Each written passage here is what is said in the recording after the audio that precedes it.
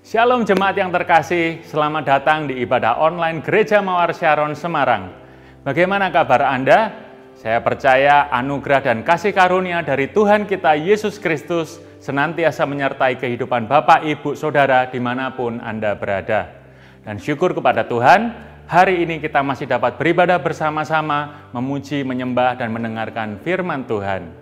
Bagi Bapak, Ibu, Saudara yang baru pertama kali bergabung bersama dengan kami, kami ucapkan welcome home dan agar kita tetap terhubung, maka Bapak, Ibu, Saudara dapat mengikuti akun media sosial kami, baik itu IG maupun YouTube dengan nama GMS Semarang. Jika Bapak, Ibu, Saudara memiliki pergumulan untuk kami doakan, atau jika Anda belum memiliki komunitas rohani, silakan menghubungi kami melalui WA ke nomor 08222 3390. Jemaat Tuhan, memberikan persembahan adalah bagian dari ibadah kita. Untuk itu, bagi Bapak, Ibu, Saudara yang akan memberikan persembahan baik itu perpuluhan maupun ucapan syukur, Anda dapat memberikannya dengan cara mentransfer ke nomor rekening yang tertera di layar Anda, atau juga dengan menggunakan scan QR Code melalui aplikasi dompet digital yang Bapak, Ibu, Saudara miliki. Dan sebentar lagi, ibadah akan kita mulai. Persiapkan hati dan mari kita satu dalam doa. Bapak mengucap syukur buat kesempatan hari ini kami bisa beribadah, kami rindu untuk mengenal Engkau lebih lagi. Kami bawa hati kami dan kami siap untuk diubahkan. Terima kasih Tuhan, dalam nama Tuhan Yesus. Haleluya.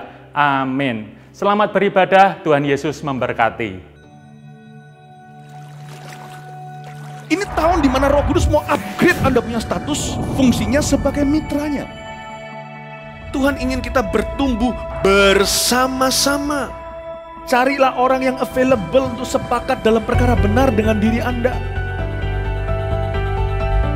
Tuhan akan mengirim kepadamu orang-orang yang tanpa wajah, tanpa nama untuk menguatkan Anda. Jawaban kadang-kadang muncul dari tempat tak terduga.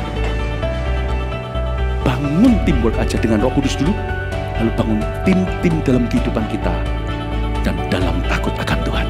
Percayalah, breakthrough terobosan itu akan terjadi bukan dari pedangmu. Tahun ini mari kita percepat diri. Quick to listen, cepat mendengar, lambat untuk berkata-kata, cepat untuk taat, lambat. Atau bahkan kalau bisa jangan berbuat dosa. Satu dari kamu mengalahkan seribu musuh itu quality, tapi Tuhan tidak berhenti di situ. Dua berlaksa-laksa. Kami mencetuskan bahwa supaya yang datang di sini bukan jadi jemaat akhirnya, tapi semua jadi murid-murid yang berbuah-buah lebat. Gereja Mawar Sharon sekali mengayunkan tombaknya, berdirilah 300 gereja. Mari kita bersatu. Mari kita akselerasi. Sampai 2030 300 gereja ini benar-benar terjadi. Shalom jemaat Tuhan, mari bersama-sama kita bersuka cita di hadirat Tuhan hari ini. Amin.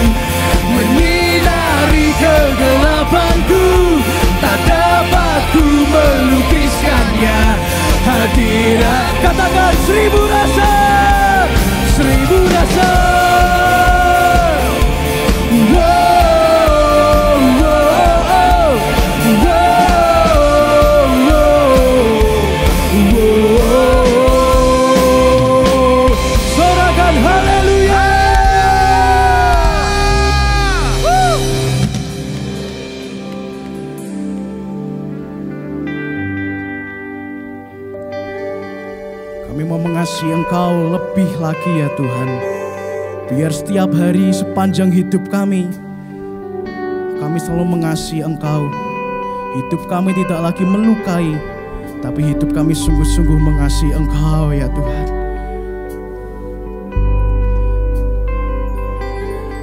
Aku mengasihi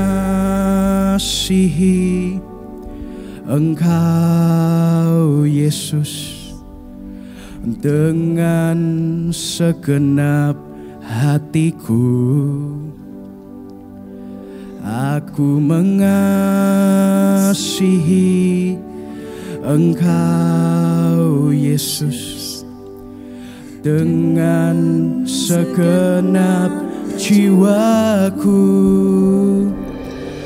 Ku renungkan firman-Mu siang dan malam Ku pegang perintahmu dan ku lakukan. Engkau tahu ya Tuhan Tujuan hidupku hanyalah untuk menyenangkan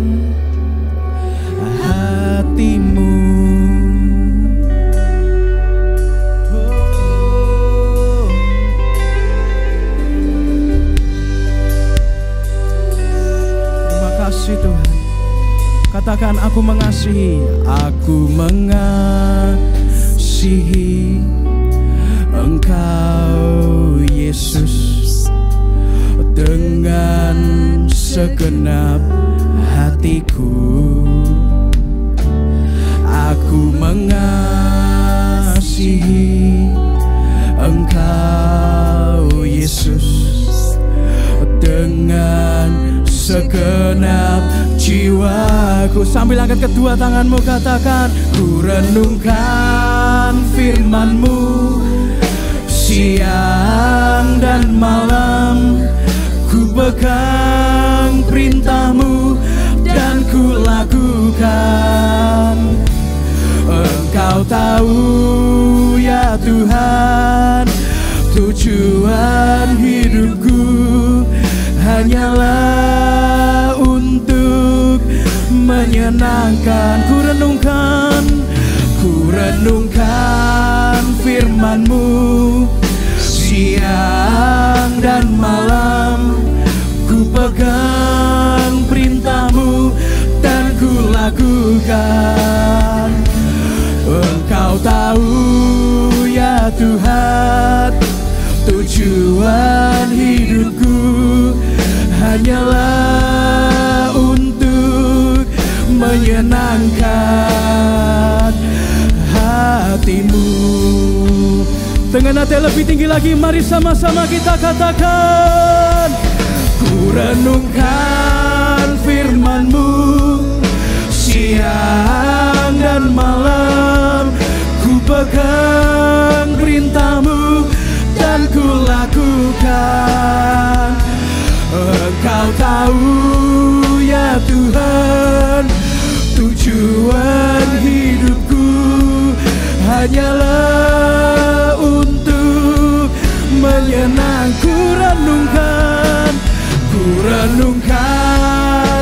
firmanmu siang dan malam ku pegang perintahmu dan ku lakukan. Engkau tahu ya Tuhan tujuan hidupku hanyalah untuk menyenang Engkau tahu ya Tuhan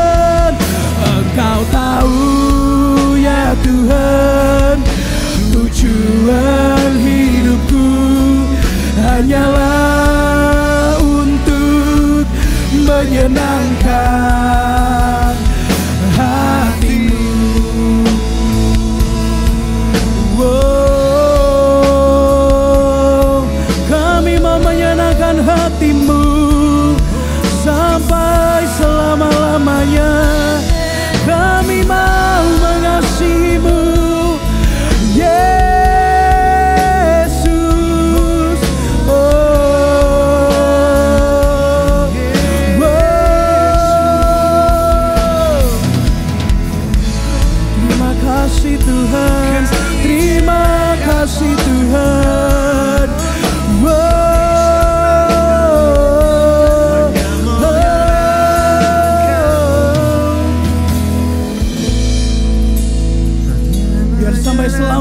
selama-lamanya Tuhan, Engkau dapati kami terus setia.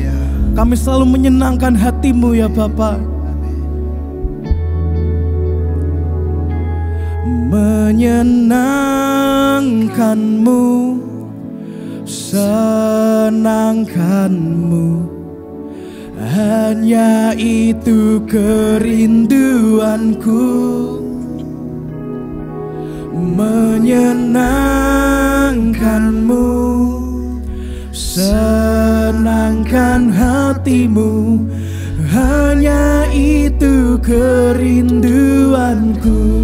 Kami mau menyenangkanmu Tuhan, menyenangkanmu, senangkanmu. Hanya itu kerinduanku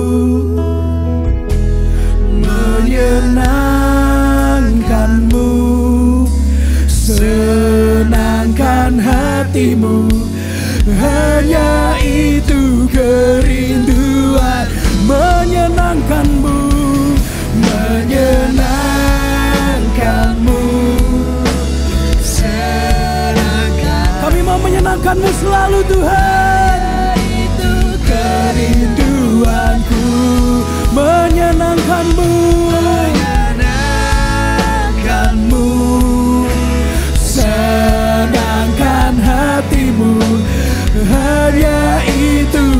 kerinduan. Hanya itu kerinduanku. Hanya itu kerinduan sekali lagi katakan hanya itu. Hanya itu kerinduanku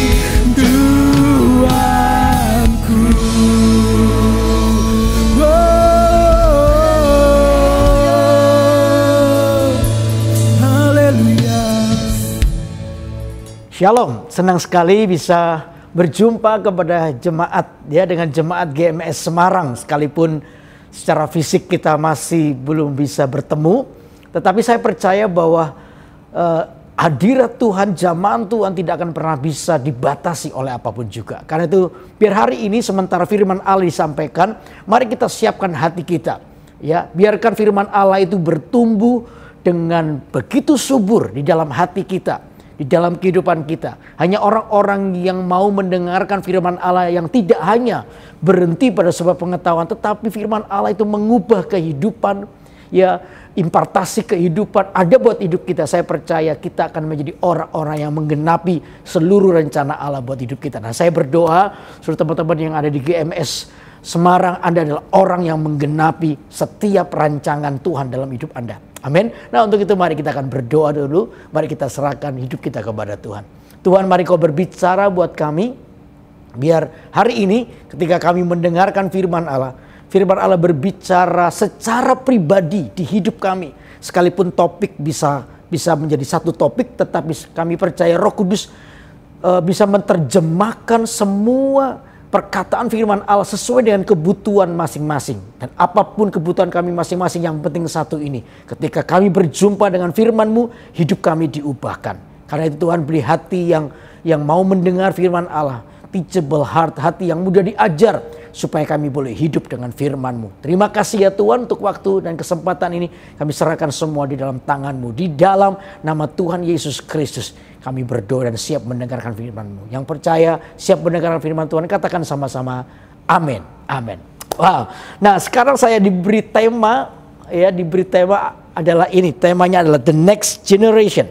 Bicara soal generasi berikutnya.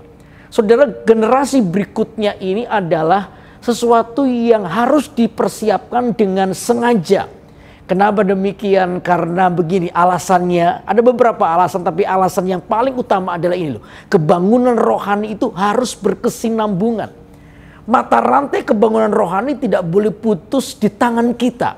Apalagi kalau kita sudah secara usia sudah mulai tidak muda lagi, tidak boleh putus di tangan kita. Baik itu para pemimpin, ya rohani dalam gereja, baik itu di CG-CG ataupun dalam penggembalaan secara lebih luas lagi ataupun kita sebagai orang tua. Saudara lihatlah bahwa Tuhan itu ingin kita melakukan yang namanya mempersiapkan generasi berikutnya. Makanya itu saudara ini penting. Ya makanya itu Yesus di pesan yang terakhir berkata, coba kita buka Alkitab kita ya.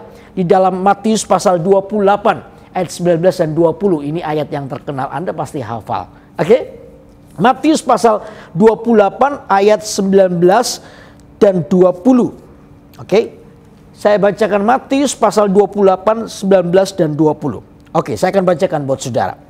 Karena itu pergilah, jadikanlah semua bangsa muridku dan baptislah mereka dalam nama Bapa dan Anak dan Roh Kudus dan ajarlah mereka melakukan segala yang telah kuperintahkan kepadamu dan ketahuilah aku menyertai kamu senantiasa sampai kepada akhir zaman.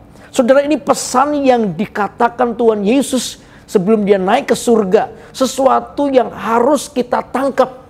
Pesan terakhir sebelum orang meninggal itu adalah pesan yang penting atau sebelum orang meninggalkan hidup kita itu, diri kita itu sesuatu yang penting. Dan pesan terakhir itu biasanya keluar dari hati atau kerinduan yang terdalam. Makanya itu penting mempersiapkan uh, the next generation, generasi berikutnya. Kenapa? Karena Yesus pun berita, memberitahukan kita bahwa karena itu pergilah jadikanlah semua bangsa muridku. Ini pesan terakhir di hati Tuhan. Bagaimana Tuhan ingin kita pergi dan menjadikan seluruh bangsa itu murid. Namanya menjadikan murid berarti ada pengajaran di situ, meletakkan nilai di situ. Ya, untuk apa sebenarnya? Jelas tadi saya bilang supaya revival namanya kebangun rohani tidak berhenti di tangan kita. Tetapi ada hal yang berkesinambungan terus-menerus sehingga dengan demikian kita bisa melihat bahwa hidup kita ini dipakai Tuhan ya dalam area ini sehingga kita bisa mempersiapkan orang lain, anak-anak muda, mungkin anak-anak kita secara kandung juga menjadi orang-orang yang hidup dengan prinsip firman Allah. Nah, kenapa saudara pertanyaannya mempersiapkan itu penting? Ada dua hal. Yang pertama karena usia kita ini terbatas. Ingat ya, orang tidak akan pernah bisa hidup memikirkan diri sendiri. Usia anda, eh, anda dan saya ini terbatas. Ya kita ini terbatas. Kata Alkitab 70 ya dapat anugerah 80 lebih daripada itu ya sudah itu anugerah buat hidup kita tapi kita ini punya batasan Karena itu penting untuk terus memikirkan the next apa yang harus apa yang yang melanjutkan pelayanan kita, melanjutkan kehidupan kita, kita harus mempersiapkan generasi berikutnya. Lalu yang kedua apa? Tuhan itu pakai orang pada zamannya. Itu alasan kedua. Setiap kita ini punya punya punya punya waktu pemakaian. Kita ini dipakai tuh di zaman kita ya nanti ada zaman lagi uh, anak cucu kita, mungkin orang lain atau atau anak cucu kita yang dipakai pada zamannya. Batasan inilah yang membuat sebuah dorongan bagi kita untuk mempersiapkan generasi berikutnya. Anda hari ini sebagai pelayan Tuhan ataupun Anda sebagai orang tua, persiapkan generasi berikutnya. Karena itu mari kita akan bahas hari ini bagaimana mempersiapkan generasi berikutnya supaya kita ini punya tanggung jawab terhadap generasi muda berikutnya. Ada sebuah warisan yang ditinggalkan buat hidup mereka. Penting buat hidup kita. Amin. Nah, untuk itu dengan beberapa pertanyaan, ya, beberapa pertanyaan. Mengapa harus ada pemuritan? Itu pertanyaan yang pertama. Pertanyaan yang pertama, mengapa harus ada pemuritan? Kenapa kita harus memuridkan orang lain? Jawabannya adalah yang pertama adalah begini. Kenapa kita harus melakukan pemuridan? Karena itu adalah perintah Tuhan. Oke? Okay? Jadi ini adalah sebuah perintah Tuhan. Memuridkan orang lain itu adalah perintah Tuhan. Memuridkan anak-anak kita, baik Anda sebagai orang tua, saya ulangi lagi, sebagai orang tua atau pemimpin rohani di sebuah gereja, Anda sebagai CGL atau coach atau TL, atau gembala, maka ini yang tidak boleh lepas daripada hidup kita, memuridkan orang lain. Kenapa? Karena itu adalah perintah Tuhan. Tadi kita baca ya, karena itu pergilah jadikanlah semua bangsa muridku dan baptislah mereka dalam nama Bapa dan Anak dan Roh Kudus. Ada sebuah perintah Tuhan, pergilah jadikanlah semua murid. Kalau kita melakukan ini, Saudara, waktu Anda melakukan pemuritan, maka sebenarnya sama dengan Anda sedang meletakkan Yesus itu sebagai prioritas utama dalam hidupmu. Kita tidak perlu mikir yang lain dulu, karena ini pembahasannya soal the next generation, maka ini fokus kepada satu ini. Kalau kita tidak memuridkan, maka kita tidak sedang taat sama Tuhan. Karena itu perintah Tuhan, simple saja. Waktu Anda melakukan pemuritan, Anda sedang meletakkan Kristus itu menjadi bagian utama buat hidup Anda. Waktu waktu papa saya meninggal, papa saya pesan buat sebelum meninggal maksudnya, sebelum meninggal, papa saya pesan sama mama saya, jagain Yudi. Ini anak paling kecil, agak susah diberitahu, agak bebal dikit. Ya, tolong jagai Yudi. Ya, akhirnya papa saya meninggal. Dan pesan itu terus diingat oleh mama saya. Ketika saya bertobat sungguh-sungguh dan lain sebagainya, mama saya senang sekali. Kehidupan saya berubah. Dan ketika saya pelayanan uh, diutus ke Manado untuk merintis gereja Mawar Sharon di sana, mama saya pingin ikut. Saya sudah bilang, mah nggak usah. Ya mama saya karena umurnya sudah sudah cukup tua juga pada waktu itu hampir 70 tahun. Eh sorry, waktu itu 60 tahun, 60 tahunan lebih ya 60 tahun lebih. Mama saya bersikeras untuk ikut ya ditanya oleh satu salah satu teman saya, tante mau ikut kenapa? Mama saya cuma jawab simpel begini, ya aku ini kan mamanya. Kalau bukan aku yang jaga, siapa lagi yang jaga Yudi? Padahal saya sudah tua, pasti sudah umur juga, sudah udah udah punya anak. Tapi mama saya mengingat pesan papa saya. Karena apa? Bagi mama saya, papa saya itu berharga. Karena itu pesan terakhirnya diingat terus.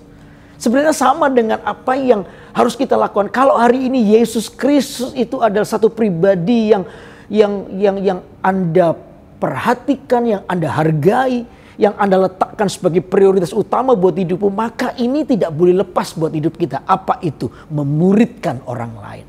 Hidup kita ini harus punya punya atau menginvestasikan hidup kita untuk orang lain sehingga orang lain menjadi orang yang yang bertumbuh, orang dari tidak bisa menjadi bisa lewat kehidupan kita.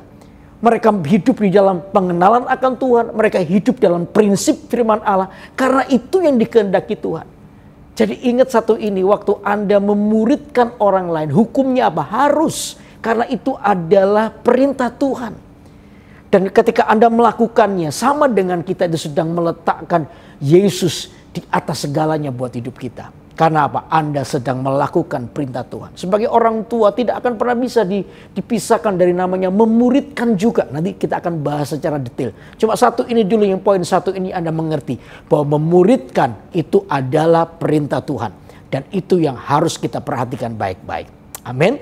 Alasannya pertama itu. Yang kedua sekarang alasannya. Kenapa kita harus memuridkan orang lain. Yang kedua adalah memuridkan itu membantu orang, seseorang untuk bertumbuh secara rohani. Memuridkan itu berarti menolong seseorang untuk bertumbuh secara rohani. Orang tua hari ini saya mau beritahu kepada Anda, Anda pun juga punya kewajiban. Anda ini punya punya tugas kalau tadi saya katakan itu adalah perintah Tuhan buat hidup kita. Orang tua harus mengerti Anda sedang mengemban sebuah tugas ilahi dalam hidupmu. Apa itu? Memuridkan anak-anak Anda. Karena itu kehidupan Anda harus sungguh-sungguh dijaga betul-betul. Apakah hari ini hidupku ini menjadi teladan gak buat anak-anak? Apakah justru hari ini apa yang aku lakukan adalah sesuatu yang melukai mereka? Kalau Anda lakukan itu cepat biar pagi, hari ini. Kalau ketika Anda mendengarkan khotbah ini, Anda tahu bahwa memuridkan anak-anak yang dipercayakan Tuhan dalam keluarga Anda adalah sebuah perintah Tuhan. Anda yang hari ini e, seorang CGL atau coach atau TL, Anda punya kewajiban apa itu? Menolong orang lain untuk bertumbuh. Makanya itu kalau Anda menolong orang lain untuk bertumbuh, maka Anda pun juga harus serius di dalam pertumbuhan rohani Anda. Supaya kita ini bisa menjadi berkat buat orang lain. Supaya hidup kita itu menginspirasi orang lain. Bukan lagi menjadi batu sandungan. Sehingga kehidupan kita ini sungguh-sungguh berfungsi seperti apa yang Tuhan mau dalam kehidupan kita. Amin. Halo amin. Sebab anak-anak atau yang saya ngomong soal anak, anak-anak kalau tidak pernah diajar, saudara mereka akan kehilangan begini. Anak-anak yang tidak hidup dengan nilai firman Allah, sebenarnya ada banyak hal yang yang yang terhilang dari hidupnya. Salah satunya adalah ini. Saya mau katakan momentum kehidupan. Saudara hidup kita ini dibangun dengan banyak momentum. Nah, bagi anak-anak yang tidak pernah diajar dengan prinsip firman Allah, tidak pernah dimuridkan oleh orang tuanya, tidak pernah diberikan sebuah teladan yang baik, tidak pernah ditunjukkan tentang bagaimana kehidupan di dalam Tuhan. Lalu anak ini kehilangan yang namanya etika, maka anak ini akan disebut anak yang tidak berakal budi seperti Alkitab. Coba buka Amsal pasal yang ke-17 coba. Ya, Amsal pasal 17 dulu kita baca. Amsal pasal 17 ayat yang kedua. Amsal pasal 17 ayat yang kedua. Saya akan bacakan buat saudara. Oke. Amsal pasal 17 ayat yang kedua. Budak yang berakal budi akan berkuasa atas anak yang apa? Membuat malu dan akan mendapat bagian warisan bersama-sama dengan saudara-saudara anak itu. Alkitab dengan jelas berkata begini, budak yang berakal budi. Budak itu ya karyawan, budak itu orang yang mungkin di dalam situasi yang tidak berkecukupan atau berkekurangan. Orang ini adalah seorang budak yang mungkin nggak punya harapan untuk sekolah lebih tinggi lagi ya karena mungkin biaya yang kurang dan lain sebagainya. Tetapi selama anak ini diajari dengan yang namanya berakal budi, dengan prinsip firman Allah. Apa sih disebut akal budi? Akal budi adalah orang yang hidup dengan nilai kerajaan Allah.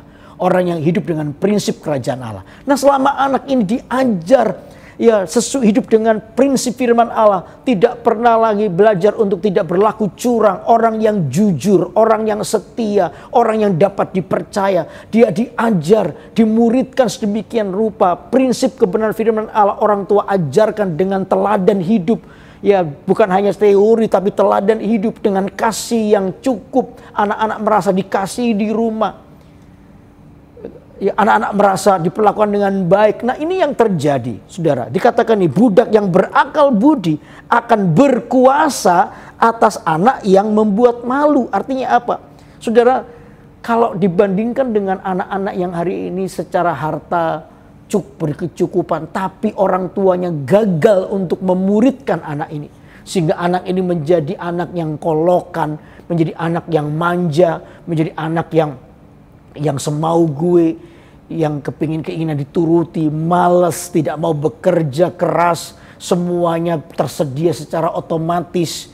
Lalu lalu dia dia tidak pernah lagi ping, apa, ber, apa, bertemu dengan yang namanya usaha, begitu mengalami trouble sedikit malas, udah nggak mau ngerjain, ditinggal dan lain sebagainya, dia cuma pilih enaknya. Dan anak ini bertumbuh dalam situasi yang dikatakan tidak berakal budi. Kerjaannya hanya membuat malu. Jangan kaget, jangan heran satu saat yang seharusnya anak ini bisa nikmati karena warisan harta dari orang tuanya. Tiba-tiba itu diberikan kepada anak budak ini. Yang sekalipun orang ini tidak punya harapan sepertinya. Tinggal dalam kemiskinan, kekurangan. Tapi orang ini adalah orang yang membangun hidupnya. Ya dengan kesetiaan, kejujuran, takut akan Allah. Lalu dia seorang pekerja keras, tidak cengeng, tidak manja, tidak kolokan ya selalu berusaha tiap kali dia menghadapi tantangan dia tidak mudah menyerah karena nilai-nilai yang ditanamkan kepada orang tuanya. Jangan heran satu saat semua yang seharusnya menjadi milik dari anak orang kaya ini dilimpahkan kepada orang yang tadinya berkekurangan. Alkitab ini akan mengenapi. Karena itu saudara saya mengingatkan semua bagi orang-orang yang mungkin dalam berkecukupan pun saudara kecukupan atau dalam kekurangan namanya pemuritan itu tidak boleh berhenti. Karena apa? Pemuritan menolong seseorang untuk bertumbuh. Pemuritan menolong seseorang untuk mengalami sebuah terobosan secara rohani dalam kehidupannya. Sehingga anak ini, orang ini dikatakan berakal budi.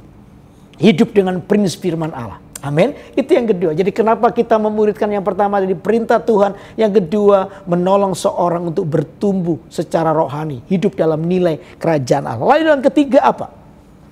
Simpel saja pemuritan itu apa? Menolong orang yang tidak bisa jadi bisa. Nah, itu. Pemuritan itu menolong seorang yang tidak bisa menjadi bisa. Secara simpel saja sebenarnya tujuan pemuritan itu tuh mempersiapkan generasi berikutnya adalah menolong mereka yang dari tidak bisa jadi bisa. Nanti saya uh, berikan beberapa hal yang efektif supaya kita bisa mengerti apa yang harus kita lakukan waktu kita ini mempersiapkan generasi berikutnya. Ya, dari dari tidak bisa menjadi bisa. Itu poin yang ketiga. Nah, sekarang pertanyaan yang kedua. Di pertanyaan yang pertama, mengapa harus ada pemuritan? Oke, okay? nah sekarang pertanyaan yang kedua adalah ini, bagaimana memuridkan? Nah sekarang bagaimana memuridkan? Jelas ada beberapa hal. Bagaimana memuridkan? Yang pertama adalah teladan kehidupan. Saudara, sudah tidak ada sesuatu yang lebih tajam atau nasihat yang lebih efektif kecuali satu ini. Anda menghidupinya. Sudah tidak ada cara lain yang lebih efektif untuk kita ini memberikan nasihat buat anak-anak kecuali satu ini, teladan kehidupan. Teladan kehidupan itu penting. Banyak kali orang kepahitan cuma karena begini.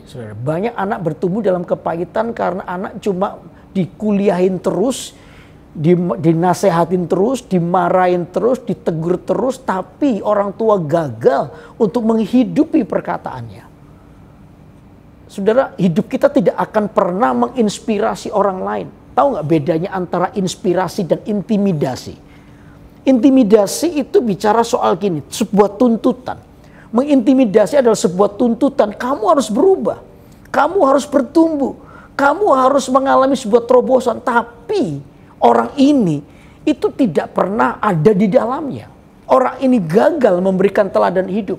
Maka yang terjadi adalah sebuah buahnya adalah apa? Kepahitan, kemarahan, Sakit hati, kenapa? Karena orang ini merasa diintimidasi, merasa terus ditekan. Karena apa? Dia tidak melihat sebuah contoh teladan. Tapi kalau menginspirasi itu lain. Kalau menginspirasi begini, Anda sebenarnya nggak perlu banyak ngomong. Anda lakukan aja apa yang Anda katakan. Sekali aja Anda katakan sesuatu. Lalu Anda menghidupinya. Sehingga anak-anak melihat, baik anak-anak secara anak-anak kandung dalam keluarga atau teman-teman CG yang sedang dimuridkan ya yang namanya sponsor atau CGL yang akan di akan dipromosikan jadi coach. Melihat aja melihat bagaimana pemimpinku ini melakukannya. Memberikan sebuah teladan hidup, maka saudara itu akan jauh lebih efektif. Mata kita ini melihat itu jauh lebih mudah untuk menangkapnya karena apa? Ada sebuah contoh. Karena itu teladan hidup itu penting. Jangan kita ini membangkitkan kemarahan atau luka hati gara-gara kita gagal memberikan sebuah teladan kehidupan. Karena itu tetap bahwa bahwa bagaimana dikatakan menga, uh, bagaimana memuridkan yang pertama adalah keteladanan hidup. Amin. Lalu yang kedua apa? Bagaimana kita memuridkan? Yang pertama teladan hidup, yang kedua adalah konsisten. Wah. Konsisten ini bicara soal begini loh. Bagaimana kita ini adalah seorang yang melakukan sesuatu yang mungkin yang itu-itu saja tetapi disertai dengan kasih. Kasih kita itu yang membedakan. Ya, hari-hari Pastor Philip mengadakan mengadakan namanya saat teduh. Ya, gambarnya sama, duduknya sama, udah berka apa ber, atau berapa episode sudah dilakukan. Tetapi yang membedakan apa? Kasihnya. Kasihnya itu yang membawa perbedaan sehingga tiap kali terjadi sebuah sebuah acara itu per, apa saat teduh tadi itu tiba-tiba selalu dampaknya kepada orang lain, pada orang banyak. Saya percaya sesuatu yang dilakukan dengan konsisten, lalu ada kasih di dalamnya maka itu yang akan mengubah sesuatu. Percayalah. Karena konsisten ini butuh sebuah perjuangan. Ya apalagi kita ini melihat kok susah ya. Orang ini sudah diberitahu nggak berubah-berubah. Aduh. Kalau kita jadi Tuhan mau tak pites rasanya. Ya lihat orang lain nggak berubah. Menjengkelkan. Sudah diberitahu, diajak duduk, dinasehati. Ya dikasih teladan hidup dan lain sebagainya. Masih ada orang-orang yang bebal model begini. Aduh, rasanya kita ini sudah nggak tahan. Udah, kuserahkan dia kepada pihak yang lain saja. Nggak kuat. Saudara, kalau hari ini Anda melihat sebuah kebutuhan seperti ini, maka yang kedua yang harus kita ingat, konsisten disertai dengan kasih. Itu yang membedakan. Karena saya berdoa bagi beberapa orang yang hari ini yang mungkin ada dalam pelayanan melihat anak-anak rohani ini kok nggak mau berubah, kok susah ya. Aduh, kok kok rasanya ini kok nggak mau dimuridkan dan lain sebagainya. Dengan saya baik-baik. Anda adalah orang yang konsisten dengan kasih. Para orang tua melihat anak-anakmu hari ini aduh susah diatur dan lain sebagainya. Saudara konsistenlah dengan kasih. Kalau bukan Anda yang hari ini berjuang buat anak-anak Anda, sudah tidak ada lagi yang bisa berjuang buat anak-anak Anda. Kalau juga bukan bukan bukan Anda yang memperjuangkan perubahan, pertumbuhan anak rohani, anak-anak saudara, sudah tidak ada lagi yang berjuang. Kalau setelah Anda menyerah, mungkin anak ini akan disergap oleh setan Saudara seperti itu pola berpikirnya sehingga kalau bukan saya ini anak akan betul-betul dimakan oleh setan sungguhan. Karena itu saya tidak boleh menyerah. Saya tidak boleh berhenti. Saya harus mengerahkan semua. Mungkin kalau sudah aku akan berdoa. Ya dengan Tuhan dengan air mata aku akan berlutut di pojokan itu. Di ruangan nggak ada orang lain aku akan berlutut di situ. Minta satu ini Tuhan ubahkan. Saya percaya. Ya Tuhan tuh mendengar doa kita. Kalau ada orang yang meneteskan air mata hancur hati seperti itu, masakan Tuhan tinggal diam. Nah, nah, nah. Pasti Anda sedang menabur sesuatu. Dan kata Alkitab menabur itu tidak pernah dipengaruhi oleh namanya angin. Jangan melihat angin, baik atau tidak baik, tetaplah konsisten, menabur. Dan saya percaya, nanti saatnya Anda akan terkejut bagaimana Tuhan itu akan mengubah seseorang. Oh yang Anda boleh mikir ini sudah nggak ada harapan. Nggak ada harapan. Eh tiba-tiba orang ini mengalami perubahan. Papa mama saya dulu lihat saya mungkin anak ini sudah nggak ada harapan. Modelnya kayak begini. Kasarnya, ngamar, suka ngamuan, marah, gampang marah, dan lain sebagainya. Tapi mama saya tidak pernah berhenti untuk berdoa. Ya, di doa ibuku namaku disebut. Nah, lagu itu berlaku buat saya ya nama saya disebut oleh mama saya. Saya mama saya menabur dengan kasihnya. Mama saya berusaha untuk menerima keadaan saya. Nah, di satu titik tertentu tiba-tiba orang yang katanya tidak punya harapan untuk berubah, orang yang rasanya nggak mungkin bisa berubah, tiba-tiba justru orang ini yang dipakai oleh Tuhan. Orang ini yang dipilih oleh Tuhan jadi hamba Tuhan. Mama saya kalau lihat saya hari ini ketemu dengan saya selalu bilang, kok bisa ya model kayak kamu begini Luar biasa ya Tuhan itu. Iya. Tuhan itu pasti mengubah kehidupan seseorang. Dibutuhkan seorang yang tetap konsisten untuk berdoa, konsisten untuk menunjukkan teladan, konsisten untuk memuridkan. Sehingga dari situlah perubahan kita bisa lihat. Amin. Halo amin. Oke, itu yang kedua. Lalu yang ketiga apa? Ya, ketiga dengan metode yang benar. Dengan metode yang benar. Bagaimana metode yang benar di dalam memuridkan? Ya, metode yang benar itu adalah begini. Saya mengerti ini metode umum Anda pasti tahu, orang yang di sekuler pasti tahu. Saya mengerjakan, kamu melihat. Lalu yang kedua, saya mengerjakan, kamu yang membantu. Berikutnya apa? Saya saya membantu, kamu yang mengerjakan. Lalu yang berikutnya apa? Saya melihat, kamu yang mengerjakan. Metode ini adalah metode pemuritan yang paling efektif karena apa? Anda sedang memberikan sebuah contoh, sebuah teladan kepada orang lain. Saya mengerjakan, kamu melihat. Oke, yang kedua apa? Saya, saya mengerjakan, kamu membantu. Oke, membantu terlibat.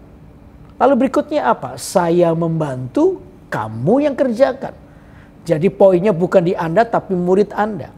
Lalu berikutnya saya melihat kamu yang mengerjakan. Ya.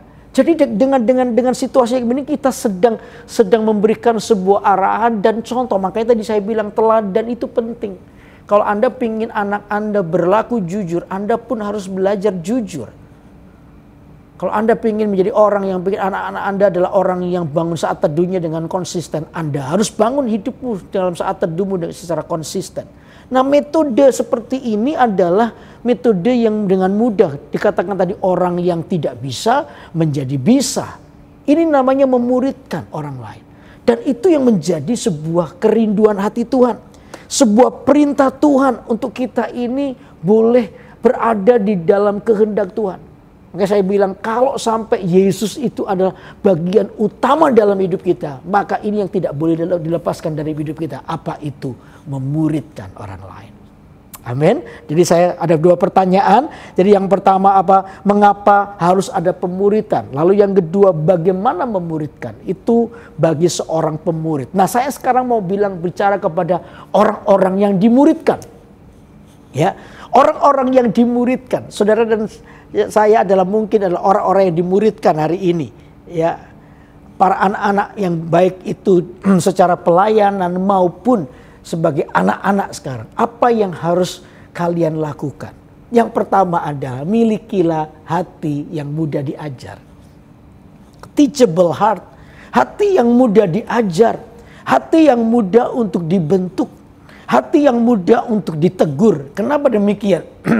Karena ketika kita memiliki hati yang diajar, hati yang mudah ditegur, maka hati kita ini akan menolong kita untuk masuk dalam masa-masa namanya perubahan. Saudara pemuritan itu jelas tidak akan pernah bisa dipisahkan dengan kata perubahan. Karena memuridkan tadi itu berarti mengubah gaya hidup. Memuridkan itu berarti mengubah kebiasaan hidup kita dari yang mungkin tidak baik menjadi baik. Karena itu perlu hati yang mudah diajar. Hati yang remuk. Hati yang mau sungguh-sungguh diubahkan oleh Tuhan. Nah, saudara selama kita tidak mau berubah. Selama kita sendiri adalah orang yang masih memikirkan diri kita sendiri. Susah bagi kita. Untuk itu ter terbukalah bagi seorang yang yang yang yang mau ditegur. Perubahlah, uh, terbukalah pada sebuah teguran. Teguran itu adalah cara Tuhan untuk melindungi hidup kita sebenarnya. Lewat siapa pun, lewat orang tua, lewat pemimpin rohani, ya, lewat firman Allah yang kita dengar, Tuhan itu menegur hidup kita. Dan teguran itu adalah bentuk perlindungan Tuhan buat hidup kita. Makanya kalau Anda ditegur, tidak selamanya teguran itu jahat buat Anda. Ditegur itu berarti, ada beberapa arti ya. Ditegur itu berarti Anda sedang ditolong untuk melihat kelemahanmu dari sisi orang lain. Mungkin ada namanya blind spot. Ya, ada ada sisi gelap dari hidup Anda yang Anda tidak bisa melihat kekuranganmu. Nah, Anda butuh orang lain untuk menegur. Karena itu kalau kita tidak punya hati yang mudah diajar, kita susah untuk mengalami sebuah perubahan. Ya, Kita tidak bisa bisa mengalami sebuah pembentukan daripada Allah. Karena apa? Kita tidak mau ditegur. Jadi ditegur itu artinya Anda dibantu untuk melihat dari sisi orang lain. Yang kedua, Anda ditegur berarti Anda itu dikasihi. Amin. Oh, kalau saya ditegur, saya tahu hidup saya ini dikasihi. Saya diperhatikan. Ya, saya lebih baik ditegur dengan keras daripada saya didiamkan. Bagi saya itu agak kacau. Ya mungkin kalau misalnya dengan papa saya misalnya. Papa saya, saya lebih senang kalau saya dipanggil sini Yudi. Wah saya dimarahin, ditegur, dibukakan kesalahan saya. Itu jauh lebih tahu, lebih enak karena saya ini adalah uh, tahu kesalahan saya. Saya tahu apa yang harus saya perbaiki. Ya itu. Tapi orang yang orang yang yang marah lalu tidak mau menegur lalu saya didiamkan itu lebih nggak enak. Tiba-tiba papa saya biasa, ayo di, ayo apa tiba-tiba papa saya diam gitu, saya papa saya ajak ngomong papa saya buang muka gitu. Itu buat saya jadi stres. Makanya itu, saudara, kalau ada ditegur, ada ditegur berarti Anda sedang dikasihi. Amin. Anda sedang diperhatikan. Anda sedang ditolong tadi saya bilang untuk menemukan kelemahanmu. Lalu yang ketiga ketika Anda ditegur berarti Anda sedang diharapkan sesuatu. Artinya Anda sedang diandalkan. Anda sedang diingini supaya potensi hidupmu itu tergali. Bukan ada beberapa orang yang tidak bisa melihat potensinya karena mungkin hidupnya sembarangan. Mungkin hidupnya seenaknya. Makanya butuh untuk ditegur. Supaya Anda bisa melihat sisi potensi hidupmu. Ternyata hidup kita ini penuh dengan potensi. Hidup kita ini penuh dengan dengan dengan dengan bakat yang luar biasa yang seharusnya ini bisa dipakai oleh luar biasa oleh Tuhan. Siapa siapa sangka ternyata ada orang-orang yang kayak saya begini, saya dulu minder ya minta ampun. Ya kalau disuruh doa, dulu paling nggak suka kalau ikut namanya dulu namanya kelompok tumbuh bersama KTB. Saya itu paling takut kalau sudah begini. Oke, okay, Yudi berdoa. Aduh, itu saya nggak bisa berdoa bisa uh, uh, Tuhan Yesus. Baru Tuhan Yesus itu bisa 10 menit berhenti ngomong apa lagi ya aku ya. Ya. Ngomong apa lagi? Nggak bisa, susah. Ya. Tapi terus diajari, diajari, diajari. Nah, saya mau belajar dan saya mau berubah. Ternyata satu saat ketika diberitahu ayo jadi belajar berdoa begini macam-macam diajari dan kasih masukan dan sebagainya. Eh ternyata siapa sangka ternyata model begini saya paling nggak bisa nyanyi, bisa mimpin pujian waktu itu. Eh ternyata bisa loh. Ternyata saya menemukan potensi hidup saya. Karena apa? Mau ditegur, mau diberitahu. Jadi untuk untuk saudara-saudara yang hari ini Anda tahu Anda sedang dimuridkan, terbukalah buat teguran. Hati-hati dengan sikap ini. Apa itu? Mengkedepankan sakit hati. Anda main perasaan dan tiba-tiba Anda tinggal di dalam perasaan. Oh marah sekali kalau ditegur, kalau diberitahu tersinggungnya dikedepankan. Berasumsi yang negatif. Anda ketika ditegur Anda merasa begini, oh orang ini pasti nggak suka sama saya, pilih kasih. Orang ini cuma memikirkan dirinya sendiri tidak mau ditegur itu artinya hatimu tidak remuk. Hatimu tidak mau diatur sehingga kita menjadi orang yang mudah tersinggung, mudah marah. Ya, nggak suka dengan nasihat. Lalu kita ini menjadi orang yang yang sensitif dengan hal yang tidak perlu, merasa aku ini dibuang, merasa tidak dihargai, merasa tidak diinginkan, oh merasa diperlakukan tidak adil dan lain sebagainya. Lalu kita hidup dengan perasaan begini. Coba buka Alkitab kita ya di Amsal pasal 18 yuk. Kita baca. Amsal pasal 18 ayat yang kedua. Coba lihat. Oke. Okay. Ayat 1 dan 2 ya. Amsal 18 ayat 1 dan 2. Saya akan bacakan. Orang yang menyendiri mencari keinginannya, amarahnya meledak terhadap setiap pertimbangan. Orang bebal tidak suka kepada pengertian, hanya suka membeberkan isi hatinya. Dikatakan begini, orang yang menyendiri. Menyendiri ini bukan menyendiri lalu dekat dengan Tuhan, justru menyendiri yang menjauh daripada Tuhan. Dikatakan mencari apa? Keinginannya sendiri. Dia nggak mau diatur, tidak mau dimuridkan, tidak mau ditegur, tidak mau dinasehati. Dia cuma keinginannya. Ya kalau orang Jawa bilang sakar PDW, ini orang Semarang pasti ngerti lah ya maunya sendiri Ya dia maunya pokoknya ini, nggak mau diatur, nggak mau ditegur, dikatakan makanya itu amarahnya itu meledak terhadap apa? Setiap pertimbangan, setiap nasihat, dia itu seperti merasa aku ini ditinggalkan, aku ini memang di apa itu kayak orang di cing ya, di cing itu apa ya? Di apa itu kayak di kayak dibidik terus begitu, dicari-cari kesalahannya. Orang itu merasa seperti ini. Nah, orang seperti ini tidak akan pernah bertumbuh dalam Tuhan. Makanya orang bebal tidak suka kepada pengertian, dikasih penjelasan, diajari, nggak suka. Karena orang ini bebal, hanya suka itu membeberkan isi hatinya saja. Dia cuma cuma pingin orang mendengar hatinya aja, keinginannya aja yang dipenuhi. Ya dia nggak mau ditegur, nggak mau dinasehati. Orang ini adalah orang bebal. Saudara sayang sekali, padahal Tuhan itu ingin pakai hidup kita semua. Karena itu hari ini, kalau Anda adalah orang yang lagi Tahu Anda dimuridkan, ada bapak-bapak atau ibu-ibu rohani yang sedang berjaga atas hidupmu. Bersyukurlah karena Anda sedang dimuridkan, Anda sedang dilibatkan dalam pekerjaan Allah yang besar. Untuk itu jangan jadi orang yang bebal. Ya, jangan jadi orang yang tidak mau diatur. Izinkan Tuhan untuk memakai hidupmu supaya setiap kita menjadi orang yang dimuridkan. Anda adalah menjadi the next generation generasi berikutnya yang sedang dipersiapkan. Jangan terlalu cepat untuk sakit hati. Jangan terlalu cepat punya asumsi yang negatif. Tapi tenanglah dulu, lihatlah bahwa teguran yang dinyatakan itu adalah menolong Anda untuk melihat sisi yang baik dari orang dari sisi yang lain. Yang kedua, ketika Anda ditegur, Anda itu dikasihi, dicintai. Karena itu setiap orang ingin Anda jadi baik. Lalu yang ketiga, Ketika Anda ditegur sedang sebenarnya Anda sedang digali potensi hidupmu. Dengan demikian kita akan menjadi orang-orang yang berjalan di dalam tuntunan Tuhan. Amin. Saya percaya inilah kehendak Tuhan.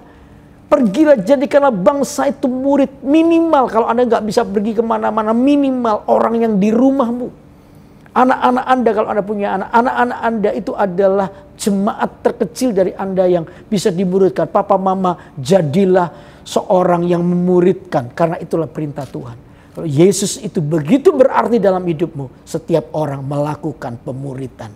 Dan saya percaya Tuhan dikatakan menyertaimu dengan tanda ajaib. Jangan takut, jangan ragu. Sebab ketika Anda meletakkan itu dengan keteladanan hidup, tidak sedang menyakiti generasi berikutnya, tapi sedang memberikan teladan yang baik. Saya percaya mujizat pasti terjadi. Anak-anak yang menurut Anda susah, pasti bisa ditemukan dan pasti bisa dipulihkan. Kalau itu biar firman Allah hari ini memberikan sebuah arahan bagi kita bahwa kita hari ini sedang dalam proyek Allah yang besar yaitu apa? Memuridkan bangsa-bangsa. Amin. Sebuah kepercayaan yang besar yang Tuhan lakukan. Jawa Tengah, GMS Jawa Tengah akan merintis merintis gereja-gereja lokal di seluruh Jawa Tengah. Eh, ada perintisan CG demi CG akan dibuka di kota-kota Saudara ini kesempatan untuk Anda melakukan perintah Tuhan yaitu apa? Pergilah jadikanlah seluruh bangsa murid Tuhan. Amin. Amin. Kita berada dalam kesempatan yang besar. Untuk itu baik yang memuridkan atau yang dimuridkan tetaplah berada dalam rancangan Tuhan. Jangan gugur. Semua orang harus tetap konsisten dengan kasih. Saya percaya Tuhan pasti memberkati kita. Amin. Amin. Mari kita berdoa. Mari kita bawa hati kita kepada Tuhan. Izinkan Tuhan berbicara buat hidup kita. Mungkin hari ini ketika Anda mendengarkan firman Allah ini, ada beberapa orang yang tertemplak oleh karena firman Tuhan. Anda merasa bahwa iya, aku ini susah diberitahu. Aku ini terlalu keras, aku ini terlalu pengkuh, tidak mau mendengar teguran. Kalau aku ditegur gampang kepahitan, gampang marah, gampang tersinggung. Aku ini terjebak dalam kebebalan, tapi hari ini ketika aku mendengar khotbah ini, aku mau berubah ya Tuhan kalau Anda adalah orangnya, saya mau berdoa buat Anda. Tuhan Yesus, kalau Anda adalah orangnya, angkat tanganmu di tempat Anda. Saya mau berdoa buat Anda. Tuhan Yesus, mau melihat tangan-tangan yang terangkat hari ini. Kau yang menjamah kami, kau yang mengubahkan hidup kami. Baik kami yang sedang memuridkan orang lain, mungkin hari ini kami sudah capek, kami sudah lelah. Rasanya sudah susah sekali untuk melihat perubahan dari orang ini. Tuhan, beri kekuatan yang baru Orang tua-orang tua yang lagi berdoa buat anak-anaknya. Di ujung semua keputusasaan Tuhan, kau yang menguatkan kami. supaya orang-orang ini terus diperbarui. Kasih itu diperbarui dan itu yang akan membawa kami pada penerobosan hal baru daripada Tuhan. Hamba berdoa sekarang di dalam nama Tuhan Yesus, jamah hati kami. Ada orang-orang yang sedang dimuridkan, orang-orang yang sedang kepahitan, atau lagi marah, lagi tidak setuju, lalu merasa diperlakukan tidak adil. Tuhan hamba berdoa, jamah hati kami. Supaya kami menyadari, untuk kami tetap memiliki hati yang mudah diajar oleh Tuhan. Karena dari situlah kami boleh melihat bagaimana Tuhan itu akan mengubah hidup kami supaya kami terlibat dalam pemakaian Allah yang luar biasa. Hamba di sini, hamba telah menyampaikan firman-Mu, tapi hamba berdoa sekarang di dalam nama Yesus kuasa firman-Mu mengubah hati kami. Kami percaya Tuhan firman-Mu berkuasa untuk mengubah hidup kami. Sekarang terjadilah perubahan. Biar kasih daripada Allah menjamah hidup kami. Mulai menjamah daerah-daerah kehidupan kami yang selama ini kami pertahankan. Dilepaskan di dalam nama Tuhan Yesus dan hidup kami diubahkan. Terima pemulihan daripada Allah di dalam nama Tuhan Yesus. Terima kasih Tuhan. Kami percaya hidup kami diberkati, dipulihkan oleh Tuhan. Di dalam nama Yesus yang diberkati Tuhan. Katakan sama-sama.